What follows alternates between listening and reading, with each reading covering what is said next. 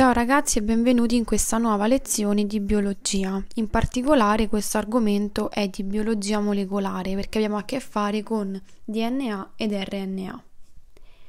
In questa lezione in particolare vedremo come è fatta la molecola dell'RNA, le differenze con il DNA, vedremo poi la fase di trascrizione del DNA e la sintesi delle proteine.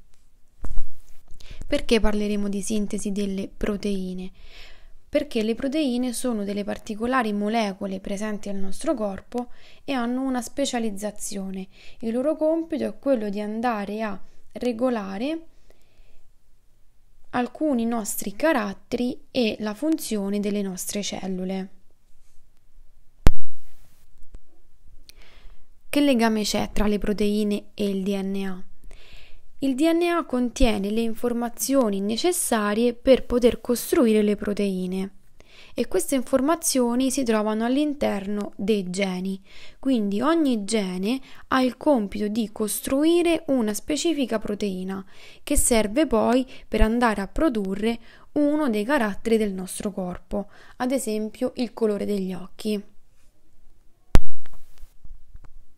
Questo processo di costruzione delle proteine si chiama proprio sintesi delle proteine. Andiamo a vedere chi si occupa di questa sintesi delle proteine. Questo processo avviene in varie fasi e coinvolge una molecola diversa dal DNA, simile al DNA ma con alcune differenze. Questa molecola si chiama RNA. Vediamo il confronto. Intanto già dall'immagine potete vedere la differenza perché l'RNA è costituito da un solo filamento di nucleotidi, mentre il DNA ne aveva due. Ne ha due. Per quanto riguarda le basi azotate, l'RNA ha l'uracile al posto della timina, quindi come simbolo vedrete la lettera U al posto della T. Terza differenza, l'RNA è costituito dallo zucchero ribosio e non dal desossiribosio. Per quanto riguarda l'RNA in generale, ne esistono vari tipi.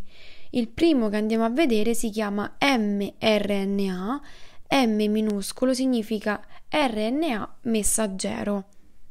Messaggero perché ha il compito di portare le informazioni del DNA e quindi trasportarle in modo tale da poter costruire eh, le proteine necessarie.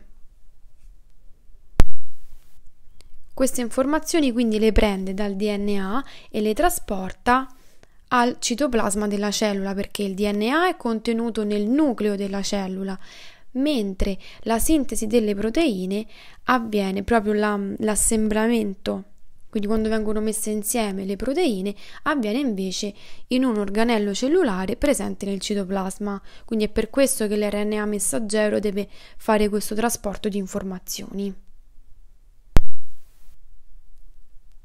Qui potete vedere meglio le varie differenze, quindi un solo filamento e abbiamo qui l'uracile come base azotata al posto della timina.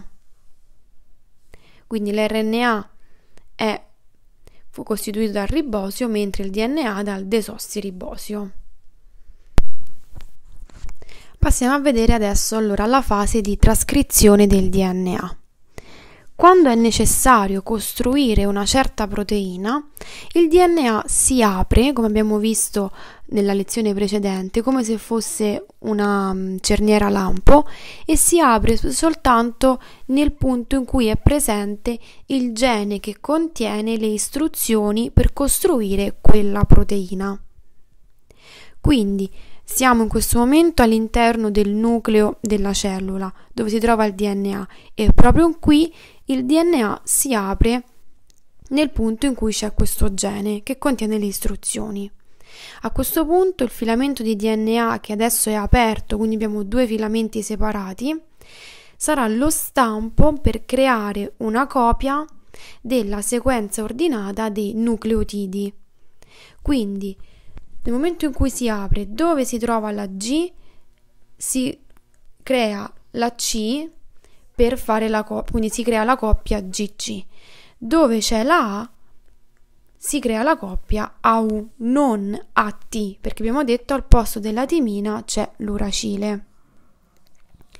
Queste istruzioni che sono contenute nella molecola di mRNA, quindi l'RNA messaggero, sono adesso scritte con un, con un linguaggio diverso e quindi c'è stata una trascrizione rispetto al linguaggio che c'era invece nel DNA.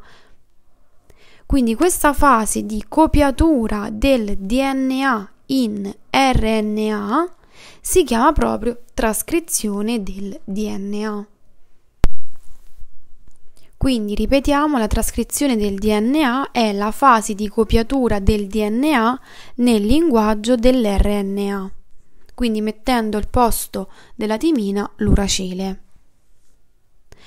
In questo momento poi, quando il filamento di RNA messaggero si è formato, si stacca dal DNA, esce dal nucleo della cellula e va nel citoplasma.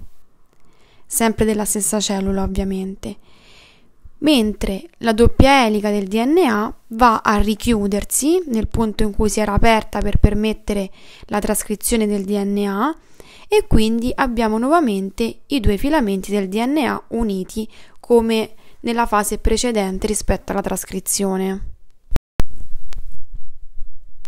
A questo punto abbiamo l'RNA messaggero che si sposta nel citoplasma perché deve andare a raggiungere il ribosoma.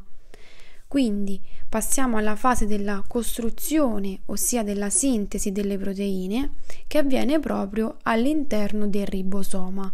Quindi il ribosoma è come se fosse la fabbrica della proteina, quindi proprio dove viene assemblata.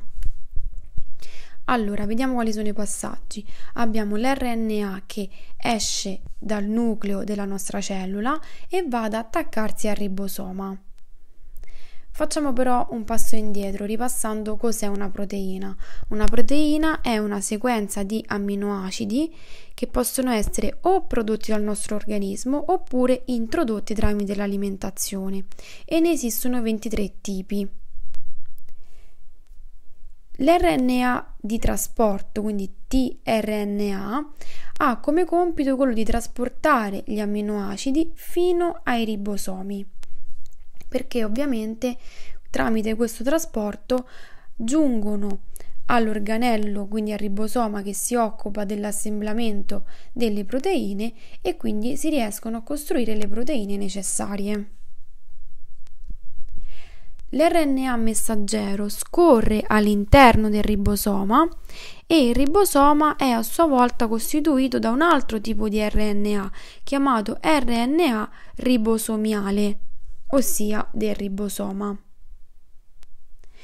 L'RNA di trasporto a questo punto si aggancia all'RNA messaggero perché c'è proprio la sequenza di riconoscimento che è formata da tre basi azotate, in questo modo si riconoscono e si riescono ad agganciare. Dopo questa unione tra RNA di trasporto e RNA messaggero, l'amminoacido viene rilasciato. Questa fase è una fase di traduzione perché avviene una traduzione da nucleotidi presenti nell'RNA ad amminoacidi. A questo punto questa, eh, questa parte quindi degli amminoacidi si va ad attaccare alla sequenza più lunga e in questo modo poi si stacca la proteina che si ripiega su se stessa come vedete qui nell'immagine perché la tipica struttura della proteina è proprio questa forma tridimensionale. Quindi possiamo fare un riassunto dicendo che il DNA viene trascritto in mRNA e poi successivamente tradotto in proteine. Quindi si parla di trascrizione e traduzione e si parla di sintesi, ossia costruzione delle proteine.